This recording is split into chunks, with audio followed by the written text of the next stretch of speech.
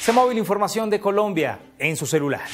El presidente Juan Manuel Santos subrayó hoy que su país es uno de los que más rápido ha avanzado en el proceso de acceso a la OCDE y señaló que el mejor de los mundos sería que la entrada coincidiera con la culminación del proceso de paz. Colombia ha sido de los países que más rápido ha avanzado en el proceso de acceso, señaló Santos en una declaración a la prensa en la sede de la Organización de la Cooperación y el Desarrollo Económico.